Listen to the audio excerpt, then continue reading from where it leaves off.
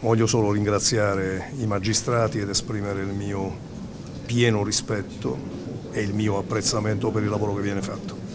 Ci sono a volte situazioni amare per chi ha responsabilità pubbliche, ma io rimango assolutamente convinto che dobbiamo difendere con i denti l'autonomia della magistratura,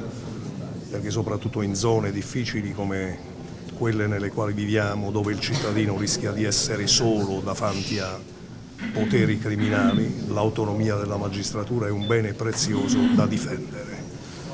Per il resto, se c'è un po' più di rispetto per la dignità delle persone e delle famiglie, credo che sia un bene per tutti quanti e se anche il dibattito pubblico avviene con toni distesi, civili, eh beh, credo che ne guadagni